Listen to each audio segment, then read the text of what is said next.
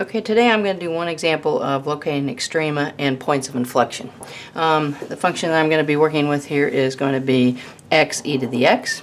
Alright, first thing I'm going to need to do is calculate the derivative. Hopefully you see that there is a product right there, so it is going to involve product rule when I do my derivative here. Alright, so f prime of x is going to be equal to the first times the derivative of the second. I'm going to actually use d dx notation here in this first line. d dx of e to the x plus the second, which is e to the x, times d dx of x. Alright, going through, taking the derivative here. If you remember the formula for derivative of e to the u, it's e to the u u prime. Alright, derivative up there, my u would be a 1. So I will have an x times e to the x and I'm going to go ahead and put in that 1, even though it's not necessary on this step, just to show you there's the e to the u, u prime, plus e to the x.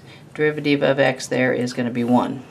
Alright, let's clean that up just a little bit. So then f prime of x is going to be equal to x e to the x plus e to the x.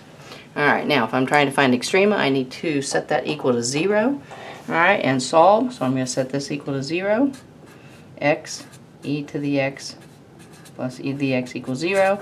I'm going to factor out an e to the x, e to the x, and then that's going to be times the quantity of x plus 1. Alright, now it's factored, so now I can set each of these equal to 0. Alright, something that you always need to uh, realize here, e to the x Alright, can never equal 0. Alright, I would set it equals 0, but it can't be equal to 0. You can think of that two ways. If you remember the graph of e to the x, alright, it goes up, alright, okay? Um, so then you know it can't be 0 there because it's going to have that, that um, horizontal asymptote. You can also remember that e is um, about 2.71. Alright, so if I raised it to the 0 power, I'd get 1. If I raised it to the first, I'd get 2.71. If I raised it to negative 1, I'd get 1 over 2.71. So e to the x can never equal 0 on that. Alright, setting the other part equal to 0, I'm going to have x equal to negative 1. Okay, so there is a critical point. Okay, so let's label that as critical point. Alright, now I need to uh, put that on a number line, create a number line so that I can find my extrema.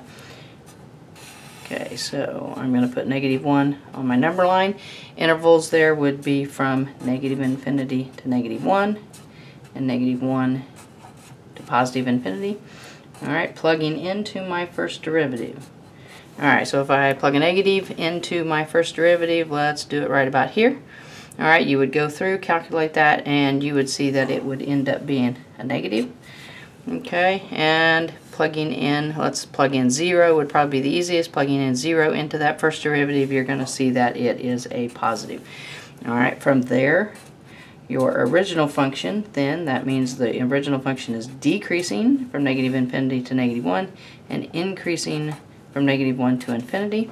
So that gives us a minimum at x equals negative 1. And so um, let's do that as an ordered pair so that we can actually find the point on the graph. The minimum then would be negative 1. This would need to be plugged back into the original function there. Um, and that's going to give me a negative 1 over an e. Alright, so I have a minimum value for my extrema on this function. Alright, now, points of inflection, you need to calculate your second derivative. So, right here was my first derivative. So we'll be looking at that to calculate um, our second derivative. Okay, so second derivative. Alright, in this uh, first part right here, hopefully you're seeing there is a product right there, so it's product rule, but that is the original function that we had right there, so there's no reason to calculate that again. When I take the derivative of this right here, I will have this right here. So I'm going to do an x e to the x plus e to the x. Alright, now derivative of e to the x is going to be e to the u u prime, so I'll have an e to the x and then times 1. Alright, so simplifying this a little bit here, there's a need the x, there's a need the x, that means I have two of them, so I can add them together, and I can get an x e to the x plus 2 e to the x, so that's my second derivative. Alright, you're going to need to again set that equal to 0. Alright, so I would probably factor out an e to the x. Alright, so let's go ahead and do that all on that same line. So e to the x getting factored out will give me an x plus a 2 and we'll be setting that equal to 0 so that um, we can find our possible points of inflection.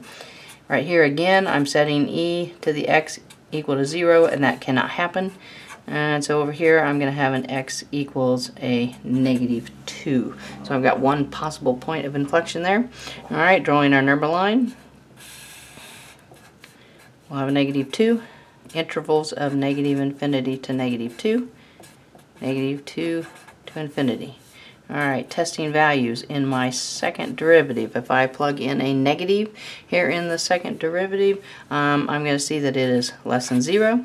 Plugging in, probably 0 is going to be the easiest. Plugging in a 0 there, I can see that my second derivative will be positive. That will tell me then that my original function is concave down on this interval and concave up on this interval. So yes, indeed, that is a, a point of inflection. So I've got a point of inflection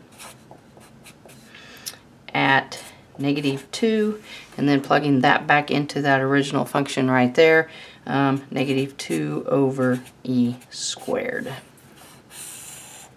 Alright, so one example um, of a function with a, an e to the x in it where I'm locating extrema and points of inflection.